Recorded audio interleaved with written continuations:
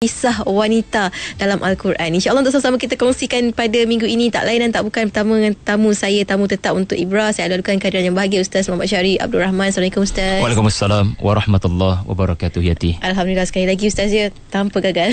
Alhamdulillah. Alhamdulillah. Dan uh, ini dah masuk minggu yang ke enam ataupun tujuh tujuh kot Yati ya, tak silap saya untuk kita sama-sama nak membongkar tentang ibrah kisah wanita mm-hmm. dalam Al-Quran ini sendiri Alhamdulillah dan kali ini Ustaz uh, akan bawakan satu tajuk yang sangat menarik sebab apa sebab selalu orang bila membicarakan tentang Nabi Musa alaihi salam mm-hmm. orang akan ingat pada zaman bayinya Betul. dan uh, wanita yang paling hampir dengannya adalah ibunya Betul. kemudian isteri kepada Fir'aun dan uh, waktu ini kita nak kis- uh, ambil satu kisah ibrah tentang kisah kakak kepada Nabi Musa mm-hmm. alaihi salam mungkin sebagai mukadimah kita petang ini silakan ustaz. A'udzubillahi minasyaitonirrajim. Bismillahirrahmanirrahim.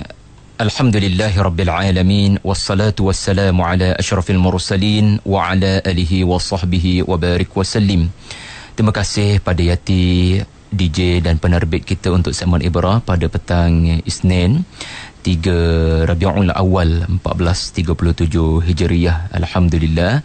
Tuan-tuan puan-puan ayah ibu yang sedang ya bersama dengan anak-anak yang bercuti sekolah ataupun yang pulang daripada tempat kerja semua sekali terima kasih ya kerana sudi untuk uh, mendengar segmen ibrah pada petang ini. Insyaallah pada petang ini kita akan uh, berkongsi mengenai dua ayat sahaja di dalam al-Quran Namun, ia menyelesaikan banyak masalah dalam kehidupan kita.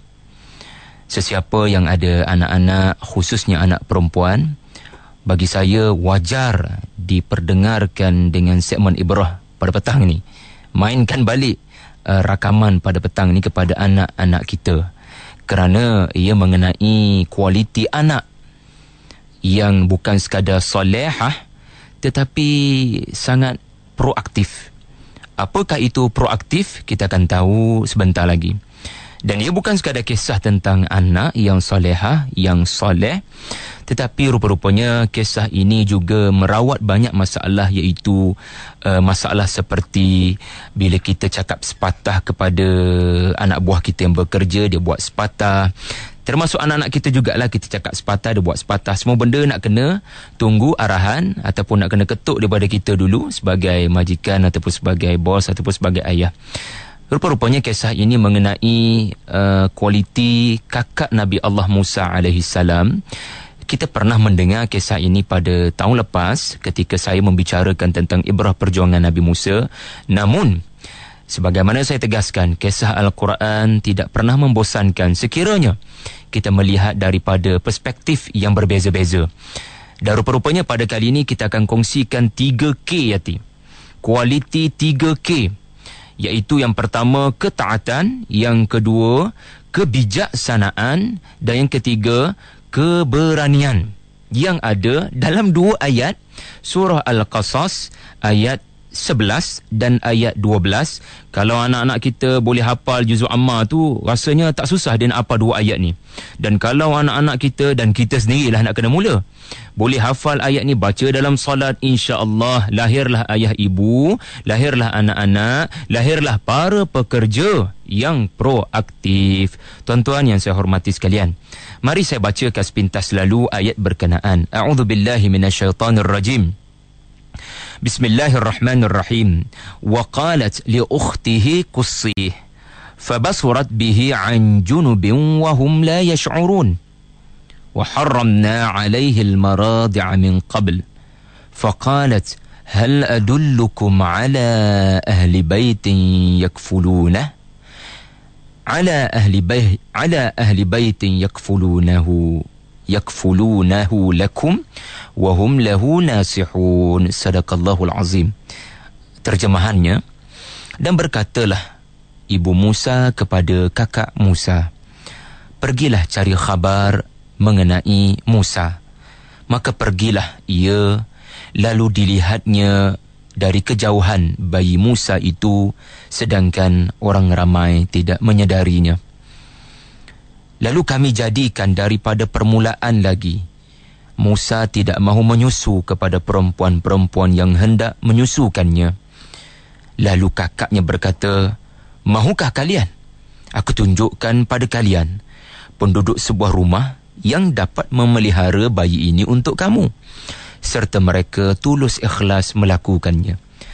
Kita ni bila baca Quran kalau sekadar terjemahan dia tak feeling ya ti. Dia kena ada pencerahan, dia kena mengaji. Kita akan dapat kekenyangan rohani kita akan kenyang dengan makanan yang hebat disajikan oleh dua ayat ini. Baik tuan-tuan, tanpa membuang masa. Mari kita semak key yang pertama yang dinamakan ketaatan. Sesungguhnya, Nabi Musa ini uh, ada zamannya Allah ceritakan sebagai bayi. Dan ketika bayi ini dilahirkan, Bani Israel, anak-anak lelaki mahu dibunuh oleh Fir'aun dan rejimnya. Lalu ibu Musa tidak tahu nak buat apa untuk menyelamatkan anak kesayangannya. Kita tahu cerita ni semua. Lalu Allah memberikan wahyu ilham kepada ibunya untuk letakkan Musa di dalam peti tabut. Lalu peti ini dialirkan ke sungai Nil. Dan kita semua tahulah kisah bagaimana bayi ini disambut oleh permaisuri Firaun yakni Asiyah.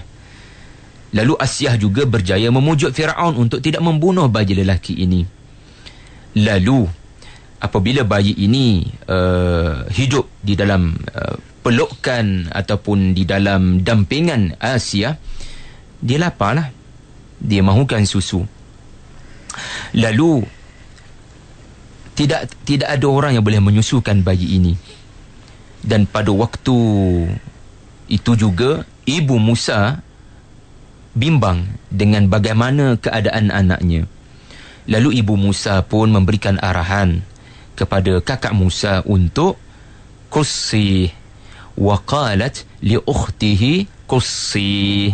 Tuan-tuan ayat ini memberitahu arahan ibu Musa kepada ukhtihi ukhti Musa supaya satu benda je ayah uh, maaf uh, mama ada pesan qussi tolong ikut peti yang mama letak adik kamu tadi pada awalnya, Ibu Musa yakin pada janji Allah. Allah akan mengembalikan bayi Musa ini kepada ibunya. Allah sendiri memberitahu kepada ibunya. Ini janji Allah. Namun Ibu Musa manusia biasa, Yati. Awalnya yakin tapi iman ni yazid wa yangkus. Kadang-kadang kuat, kadang-kadang lemah. Ketika lemah inilah Ibu Musa mula tidak yakin keselamatan bayinya. Lalu diberikan arahan kepada anaknya yang sulung iaitu kakak Musa. Qussi, ini ah, asal usul uh, surah Al-Qasas ni. Rupanya ada perkataan qassa. Qussi tolong ikut adik kamu. Mama risaulah. Mama rasa macam-macam benda boleh jadi. Uh, kaki tangan Firaun boleh temui, sungai Nil boleh mengombak ataupun uh, memberikan menenggelamkan peti itu tolong tolong ikut mama risaulah. Macam itulah lebih kurang. Lalu kita kena ingat mak kata sepatah je. Dengan penuh kebimbangan si anak faham air muka mak yang resah risau sebagaimana digambarkan dalam ayat sebelumnya wa asbaha fuadu ummi Musa farigha mak ni dah tak fikir apa dah mak tak makan mak tak minum mak dah tak fikir apa kecuali Musa je Risau sangat sebab dia ibu. Lalu Allah merakamkan kualiti yang pertama dengan hanya satu huruf iaitu fa'ut ta'qib fa basurat bihi. Fa di sini artinya dengan pantasnya anak ini bertindak keluar dari rumah mencari adiknya. Anak tak tanya, mengapa mak? Bukankah ayah? Bukankah Allah telah memerintahkan ibu jangan risau, jangan resah. Ataupun anak ini tidak berfikir panjang. Maaf, anak ini tidak berfikir panjang. Mak selamat ke kalau saya nak follow mak? Anak ini telah fa. Dengan pantasnya, ha, ini terjemahan fa. Sebab tu terjemahan dekat Quran terjemahan tak cukup lagi. Dia kita kena faham bahasa Arab sikit. Maka fa di sini artinya bukan falamma. Fa di sini dengan tangkasnya, dengan pantasnya, dengan cepatnya, dengan segera anak ini keluar daripada rumah mematuhi perintah ibunya, mentaati ibunya mencari anaknya, mencari adiknya. Fa basurat bihi an junubin. Ini yang pertama. Yang kedua, Allah Ta'ala royak kepada kita. Allah Ta'ala beritahu kita apa yang sedang dilakukan oleh anak gadis ini luar biasa. Dia bukan lurus bendul. Pergi follow je, follow je, follow je. Dah peti tu dekat dengan dia, tepi sungai, dia atas atas tebing sungai, follow je memanjang. Ini luruh bendul. Ini tak berapa pandai memahami maksud sebenar ibu dan air muka ibu yang resah gelisah. Kualiti gadis ini luar biasa sehingga Allah Ta'ala mensifatkan apa yang dia buat dengan tiga patah perkataan iaitulah Fabasurat bihi an junubin. Ada perkataan basurat dan ada perkataan an junubin. Artinya, bukan faqassat bihi. Tetapi fabasurat bihi. Artinya, kalau kita faham dengan mendalam maksud perkataan ini, basurat ni artinya bukan follow je Yati artinya memerhatikan dengan tajam. Mungkin ada elemen catatan kat situ lokasi checkpoint pertama checkpoint kedua. Pendek kata kalau ada handphone tu share location pada mak. Location pertama checkpoint pertama share location. Sampai checkpoint kedua share location. Ulama kata Syekh Dr. Nofal ulama tafsir daripada Jordan bila saya baca kitab dia wow dia kata at-tamakkum min al-ibsar wal mutaba'ah ad-daqiqah. Dia memerhatikan dengan teliti Walaupun dia dari kejauhan. An junubin dari kejauhan. Mak suruh follow bukan artinya duduk dekat dengan dia, tengok dari dekat. Itu tak pandai. Kenapa saya kata tak pandai? Nanti akan ada orang perhati dan orang syak. Dia orang tanya, Hang buat apa eh? Itu adik Hang eh? ha, baguslah. Kalau itu adik kamu dan kamu pula uh, daripada Bani Israel, serahkan bayi itu kepada kami, kami kena bunuh. Itu tak bijak. So Allah merakamkan kualiti perempuan kecil ini kanak-kanak yang kata maududi kanak-kanak. Maududi kata kanak-kanak. So kalau kita ada kanak-kanak anak-anak kita cuti sekolah ni biar dia dengar cerita ni. Daripada duduk ambil superhero yang tak apa-apa tu bebek ambil superhero yang kat sini ni. Allah merakamkan an junubin. Artinya Ulama kata Syekh Dr. Naufal kata seolah-olah perempuan ini dia bijak. Ni kualiti kedua iaitu kebijaksanaan ka'annama taltaqitu ba'du a'shabil ardi lita'udda ta'ami ahliha. Dia macam jalan-jalan petik beberapa makanan daripada tumbuh-tumbuhan yang ada masuk dalam beg seolah-olah orang nampak dia tengah petik buah. Ke sana dengan pergerakan yang pantas petik apa yang ada masuk dalam beg mungkin buah mungkin pucuk apa-apa ke daun apa-apa masuk dalam beg seolah-olah nak bawa balik makanan kepada keluarga.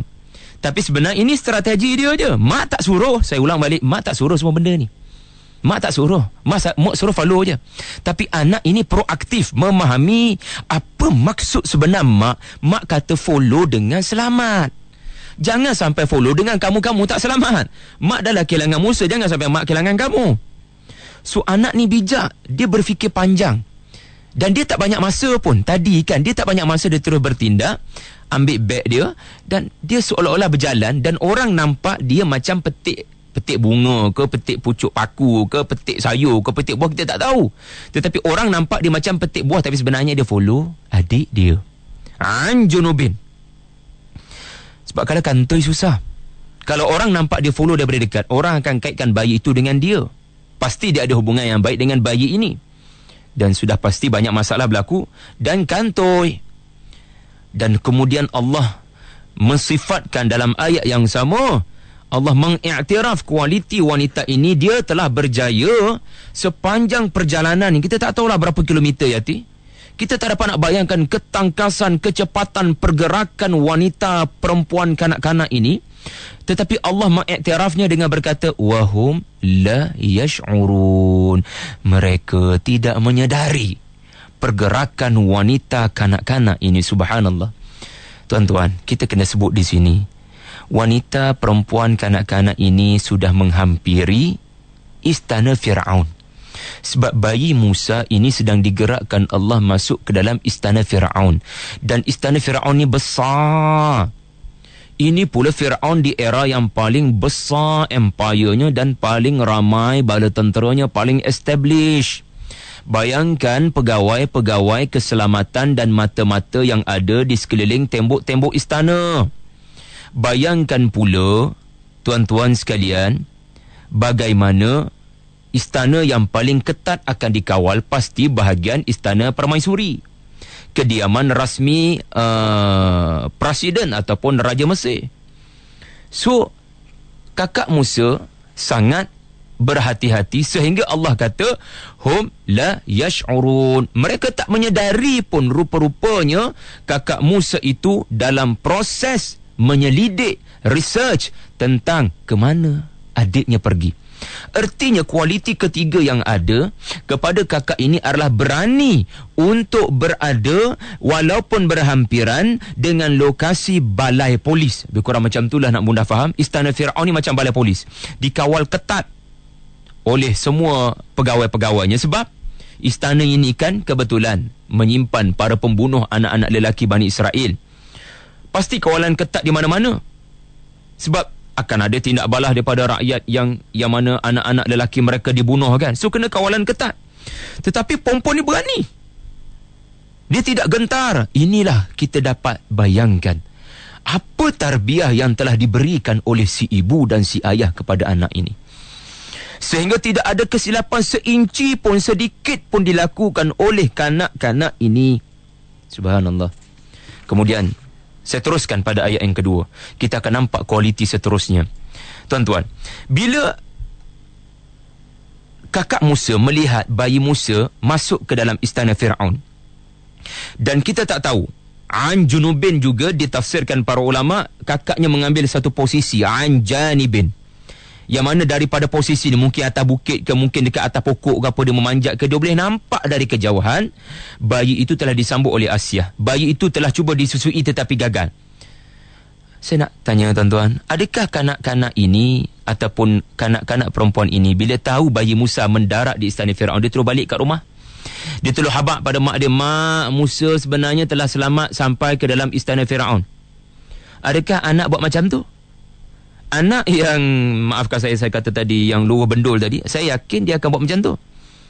Yang terus balik kata pada mak Musa masuk istana Firaun adakah itu telah menunaikan kehendak mak? Saya rasa kalau anak tu buat macam tu lagi gesah mak.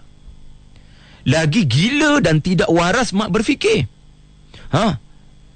Ini berita yang kau bagi tahu kepada mama Lagilah mama kalut. Mama dah lah hampir-hampir nak cerita pada orang. Mama telah buang anak mama dalam sungai. Tetapi mujur mama tak cerita. Allah berikan kekuatan. Anak ni faham. Dia tak boleh balik lagi ke rumah. Mak kata sepatah je kursi. Tapi anak faham. Mak kata biarlah bawa balik berita gembira. Mak kata tengah resah. Kamu pun nampak mak tengah resah. Lalu anak ni tak pulang ke rumah. Walaupun mak tak bagi arahan pulang ke rumah selepas follow up, tetapi anak faham follow up tu artinya biar ada something menggembirakan mak. Lalu anak melihat, perempuan ini melihat bayi Musa adiknya tidak mampu disusui oleh sesiapa pun. Wa harramna 'alaihi al-maradi'a min qabl. Tak ada seorang pun berjaya menyusukan Musa.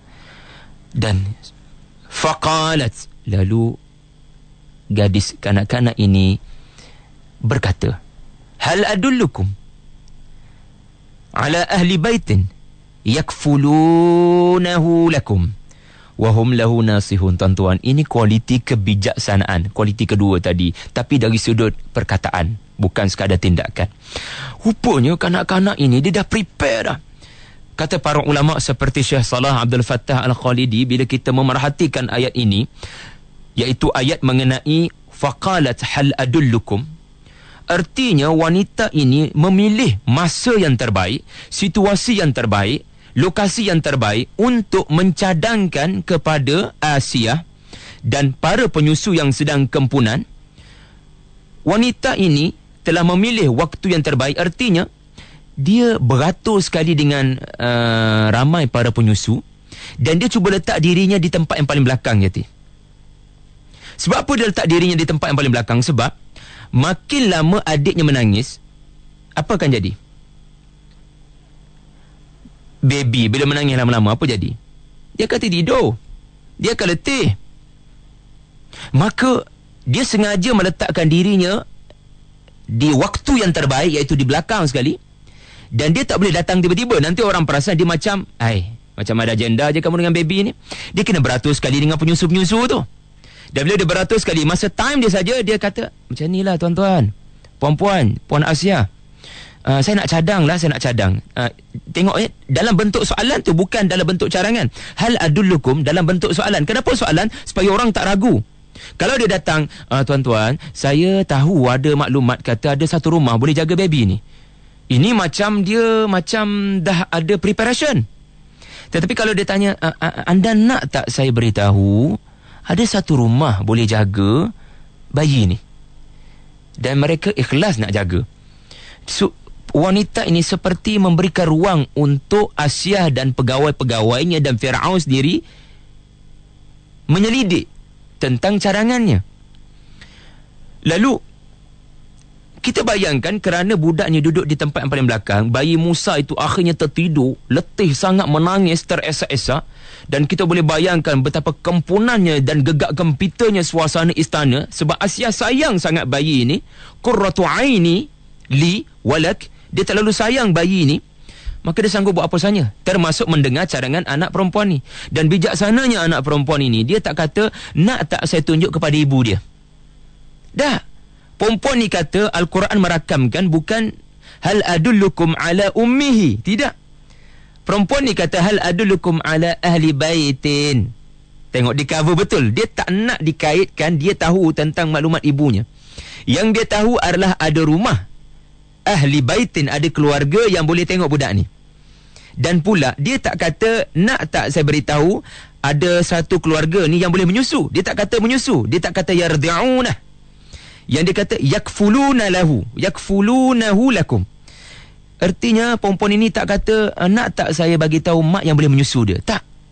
Perempuan ni kata nak tak satu keluarga yang boleh tengok budak ni, yang boleh jaga budak ni. Bukan sekadar, sekadar menyusu, dia boleh jaga kan. Dan lebih hebat daripada itu perempuan ini mempengaruhi Asia dan uh, pegawai-pegawai Firaun dan mereka ikhlas mereka tak nak minta upah tau. Wahum lahu nasihun. Mereka benar-benar ikhlas mereka tak ada kepentingan kepada budak tu. Tengok dia cuba mempengaruhi sehingga Asia terima. Firaun yang duduk sekali dengan dia pun telah kalah kali kedua. Selepas kalah kali pertama bila Asia kata jangan bunuh bayi ni. Firaun tidak menyadari dia sedang kalah. Wahum la yash'urun dengan membenarkan Asia menghantar bayi ini bersama dengan dia sekali Asia pergi ke rumah keluarga ini subhanallahu taala tuan-tuan demikianlah dua ayat menceritakan kemenangan kakak Musa akhirnya kakak ini bertolak dengan satu perkataan iaitu mak suruh follow bayi Musa tetapi anak ini pulang bukan sekadar dengan bayi Musa bahkan pulang dengan Asia yang akan menjaga Musa dalam istana Firaun daripada serangan pegawai Firaun. Dan kakak ini pulang dengan pegawai-pegawai yang akan memelihara bayi ini atas perintah Asia. Subhanallah kualiti apa yang ada pada anak ni tuan-tuan jadi itulah secara ringkas mengenai rakaman Allah sepintas lalu pada seorang wanita yang tidak pun disebutkan nama, tidak pun disebut lokasi, tidak pun disebut perkara-perkara perincian yang tidak penting bagi kita. Kita berhenti setakat tu dulu Yati. Alhamdulillah. Alhamdulillah. Terima kasih banyak Ustaz atas pencerahan. Uh, itu baru kisah uh, kakak Nabi Musa alaihissalam yang sangat uh, memberi impak yang besar sebenarnya buat rakan-rakan pendengar. Sebab apa kata bila kata proaktif tu ustaz? Pro tu dah mahir dah. Aktif mm-hmm. tu tangkas masya-Allah. Jadi sebagai wanita janganlah rasa takut untuk memiliki sifat-sifat seperti yang ada uh, pada sifat uh, kakak Musa alaihissalam dan insya-Allah kita akan sambung dan sambung lagi selepas ini. Bagi anda ada sebarang pertanyaan persoalan atau pandangan boleh hubungi kami di talian di 0362051500 di Facebook ikim.fm di Twitter dan juga SMS insya-Allah kita akan sambung selepas ini untuk program Ibrah. Buat Rasul junjungan Nabi Muhammad sallallahu alaihi wasallam. Untuk waktu ini kita teruskan lagi program Ibrah bersama yang bagi Ustaz Syarif Abdul Rahman. Kita nak membincangkan ataupun berbicara nak selak-selak Al-Quran apa yang telah dirakamkan berisi Al-Quran tentang kisah uh, Ibrah uh, wanita dalam Al-Quran. Kali ini kita bawakan kisah kakak kepada Nabi Musa alaihi salam. Alhamdulillah. Dah ke kita semak-semak ni ustaz ya, ada ke uh, ketaatan, kebijaksanaan dan keberanian yang dimiliki oleh kakak uh, kepada Nabi Musa alaihi salam ini. Insya-Allah untuk sama-sama kita kongsi-kongsikan juga soalan-soalan daripada sahabat-sahabat pendengar kita ustaz. Uh, daripada sahabat kita Razi Cinyu kata kakak Nabi Musa bijaksana dan berani macam perisik macam spy kata ustaz. Kata uh, berjaya tipu pegawai uh, keselamatan sebuah negara besar hebat kisah dalam al-Quran. Dan juga uh, surau Nur Ramadan tanya bagaimana sebenarnya ustaz antara tips lah untuk menanam ukhuwah antara adik-beradik ni ustaz. Uh, mengenai kakak Musa menipu istana, kakak Musa tidak menipu sebenarnya. Uh-huh. Dia menggunakan laras perkataan yang tidak menipu. Dia bercakap benar, tetapi dia memilih perkataan yang lebih baik supaya tidak nampak yang dia mewakili ibu Musa dan dia itu sendiri kakaknya. Hal adullukum ala ahli baitin. Memang ahli baitin betul, memang keluarga itu memang ada. Bukan ibu Musa duduk berseorangan ibu Musa ada ayah Nabi Musa ada Nabi Harun kan masa kecil lagi waktu itu. So memang dia bercakap benar. Yakfulunahu memang keluarga tu bukan setakat boleh menyusukan Nabi Musa. Sebab itu keluarga Nabi Musa dia yeah. dia boleh jaga tetapi nak jaga sekarang memang tak selamat. Semua bayi sedang mahu dibunuh. Dan mereka memang ikhlas sebab mereka keluarga Nabi Musa. So kita tak boleh kata kakak ini menipu Sebenarnya kakak ini menggunakan tutur bicara perkataannya lebih bijaksana dan cermat supaya tidak nampak yang dia mewakili satu keluarga Bani Israel yang memang sedang kehilangan seorang anak yang diletakkan di atas Sungai Nil. Uh, mengenai persoalan daripada surau Nur Ramadan tadi ya ini pun komited benar dengan segmen ibrah kita yeah. bagaimana untuk menerapkan apa tadi Yati? Uh, tips untuk menanam ukhuwah antara adik-beradik ni Ustaz saya kira kalau kita nak menerapkan ukhuwah antara adik-beradik ini maka ia tidak boleh sama sekali lari daripada uh, prinsip yang pertama iaitu prinsip uh, kerohanian ataupun spiritual di mana sentiasa menerangkan kepada anak-anak kita sekiranya ada perpecahan, sekiranya ada pergaduhan, sekiranya ada cemburu sesama adik-beradik, sekiranya ada hasad dengki kepada adik-beradik. Ini soal adik-beradik yang dah besar panjang. Harta benda yang banyak. Ataupun mungkin bukan ada kelebihan harta benda, ada kelebihan di sudut rupa paras. Maka ingat, ingat dan ingat, itu semua permainan syaitan. Apakah asas kepada prinsip ini? Iaitulah Nabi Yaakob di dalam surah Yusuf. Kenapa Nabi Yaakob mengingatkan kepada Nabi Yusuf sekiranya ada perpecahan, sekiranya ada abang-abang tak puas hati pada kamu? Kerana ini disebut oleh Nabi Yaakob di hujung wasiatnya kepada Nabi Yusuf ketika Nabi Yusuf meminta supaya ditafsirkan mimpi, inna syaitana lakum aduwwum mubin. Artinya sentiasa ingatkan anak-anak apa jua perpecahan yang berlaku. Contoh, kita bertemu dengan adik, bertemu dengan abang, uh, ada ziarah menziarahi antara satu sama lain. Tapi tak bersembang. Ataupun contoh hari raya ke hari-hari uh, besar ke kita balik ke rumah kampung. Tapi tak ada bersembang. Tidak ada sebarang komunikasi berlaku. Tengok cerita sama-sama tapi tak bersembang. Maka kita kena sentiasa ingat bahawasanya yang menyebabkan hati ini tawar daripada nak berbincang nak berborak adalah angkara daripada angkara halus daripada perbuatan syaitan la'natullah. So prinsip kerohanian ini mesti diterapkan daripada awal.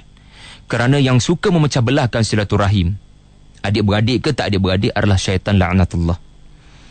Saya kira cukup setakat itu saja untuk uh, surau Nur Ramadan. Yang selebihnya adalah uh, persoalan ayah dan ibu lah peranan yang paling penting untuk menimbulkan kemesraan antara adik-beradik itu sendiri. Jangan bersama tapi tak ada kebersamaan. Biarlah bersama tetapi sentiasa ada uh, hubungan yang baik, silaturahim yang baik. Sentiasa jangan cepat panas baran bila adik melakukan sesuatu yang tidak suka di depan mata. Sejak daripada kecil, perkara ini mesti dididik kepada adik-adik supaya jangan marah dekat Fatih contohnya. Kakak dia nama Fatihah hmm. adik nama Fatih. Fatih ambil color daripada kakaknya. Kita kena ajar anak-anak kita jangan cepat menyerlahkan kemarahan itu. Cuba lihat perbuatan adik tu. Adik tu kecil lagi Fatihah. Contohlah. Bagi dia nampak sangka baik kat situ. Di sebalik perbuatan adik-adiknya itu ataupun abang-abangnya sendiri. InsyaAllah Alhamdulillah. Saya sudah Fatihah ya. InsyaAllah Ustaz Dan kita nak uh, kongsikan lagi. Bila cakap tentang Apa yang dilakukan oleh ibu Kepada Nabi Musa AS Ustaz Adakah dia tidak menampakkan bahawa uh, Ibu Nabi Musa AS Tidak percaya secara 100% Atas nasib yang telah ditentukan oleh Allah SWT Sebab itu atas perintah Allah Ustaz. Bagaimana Ustaz? Soalan yang baik. Soalan yang sangat baik. Di sini kita belajar uh, Perkara akidah Iaitu bersangkut paut dengan takdir. Apakah yang dikatakan ikhtiar Allah telah mentakdirkan.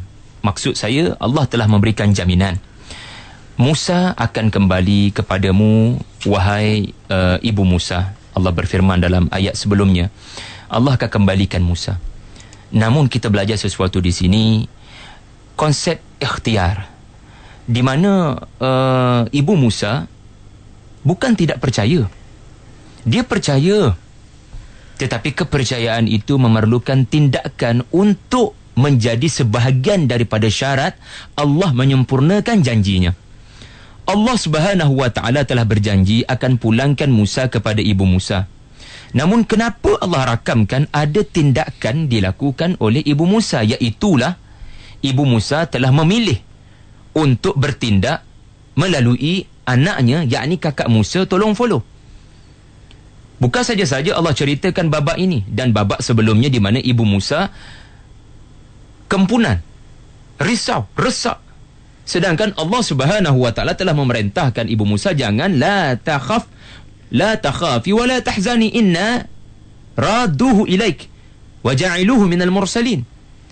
Tetapi manusia, kita manusia. Bahkan cerita ini bukan tentang Nabi, tentang ibu Musa, ibu kepada seorang Nabi. So, naluri seorang wanita, naluri seorang ibu, naluri seorang uh, manusia, kejap dia beriman. Kejap dia kurang sikit keimanan. Maka di sini tidak salah untuk berikhtiar. Ya benar Allah telah berjanji akan memberikan berita gembira kepada orang yang bersabar. Tetapi kita kena ada ikhtiar di situ. Bukan tak percaya pada nasib yang telah Allah tentukan iaitu nasib yang baik. Tetapi kita belajar di sini ada elemen ikhtiar dan akhirnya ikhtiar itulah yang Allah rakamkan untuk menyempurnakan perancangan Allah yang lain dan akhirnya bayangkan kalau kakak Musa ini gagal mengenal pasti di mana lokasi Musa. Ataupun kakak Musa tidak mentaati perintah ibunya. Anak duk menangis dah dekat istana tu anak telah dibantu oleh tentera Allah yang bernama Sungai Nil di mana anak ini tidak ditenggelamkan dan anak ini tidak dibunuh. Hati Asyah juga telah dilembutkan Allah itu pun tentera Allah. Tetapi Ibu Musa tak tahu apa cerita. Beritahu saya tuan-tuan. Adakah istana akan tahu ada orang boleh menyusu? Istana takkan tahu ada orang boleh menyusu kalau tak ada peranan kakak tadi. Muncullah kakak tadi diutus oleh si ibu. Maka janji Allah berlaku, rupa-rupanya bukan sekadar peranan Asia, bukan sekadar peranan sungai ini, tetapi ada peranan yang dimainkan oleh pilihan yang dibuat oleh seorang manusia yang bernama Ibu Musa, iaitu peranan kakaknya. Maka dengan peranan kakaknya itulah berlakunya janji Allah. Muncullah kakak bagi tahu kepada istana ada keluarga boleh susukan. Rupanya tindakan Ibu Musa menghantar anaknya adalah sebahagian daripada perancangan Allah untuk mengembalikan Musa kepada ibunya. Nampak tak tuan-tuan? Ha, ini akidah kita. Al-Sunnah wal Jamaah. Di mana kita tak boleh kata, oh, macam mana? Tak payah buat apa eh? Kan Allah akan kembalikan Musa. Tak payah buat apa? Orang ni kadang-kadang dia berfikir dia ni robot je atas dunia ni. Buat macam mana? Kita kan dah nak masuk neraka. Allah dah tentukan kita masuk neraka. Buatlah apa pun kita akan masuk neraka. Wal'ayazubillah daripada akidah Jabariyah macam ni. Allah bagi kita pilihan. Allah bagi kita pilihan nak beriman tak nak beriman. Dan beriman itu menyebabkan amalan berlaku ke tidak. Allah maha adil. Allah bukan buat kita robot. Wa nafsi wa ma sawaha. Allah bagi pilihan. Orang yang beramal akan diganjari syurga. Allah yang tidak beramal akan diganjari neraka. Cumanya Allah ni dia advance. Pengetahuan tentang nasib di syurga, nasib di neraka ni Allah tahu. Tetapi Allah tidak menulis sesuatu di loh mahfuz kecuali apa yang telah kita pilih. Kalau kita memilih untuk beramal, maka memang Allah menentukan in advance kita memang ahli syurga. So jangan anggap Allah tidak memberikan kita ruang untuk memilih amalan dan memilih di atas dunia ini. Jadi itulah kesimpulan penting ya daripada uh, kisah uh, ikhtiar dan erti tawakal yang telah dijelmakan Allah berlaku kepada ibu Nabi Musa. Alhamdulillah dah sampai ke kesimpulan rupanya Ustaz. Terima kasih banyak Ustaz atas uh, pertemuan uh, sudah tak sudah sampai ke penghujung rupanya. Terima kasih untuk rakan-rakan pendengar Kim FM antaranya Habib Anajar yang menjadikan Ustaz sebagai profil picture-nya. Uh, Alhamdulillah yang sama bersama dengan kita dari uh, Sungai Apit Riau. Alhamdulillah dan juga sahabat-sahabat kita yang lain yang uh, memberikan respon di Facebook Kim FM dan pemanggil kita yang tak dapat kita nak raikan juga Ustaz. Terima kasih banyak. InsyaAllah minggu hadapan kita akan bersama lagi dengan tajuk yang lain. Uh, mungkin wanita lagi ke Ustaz? Masih lagi insyaAllah. Masih lagi insyaAllah. Terima kasih banyak Ustaz. Assalamualaikum. Assalamualaikum warahmatullahi wabarakatuh.